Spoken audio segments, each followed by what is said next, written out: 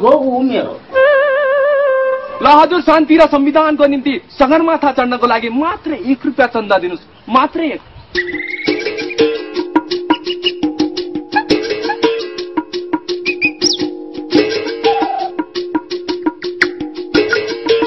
धन्यवाद है। शान्ति र संविधानको लागि सगरमाथा चढ्नको लागि मात्रै एक। कोही हुनुहुन्छ?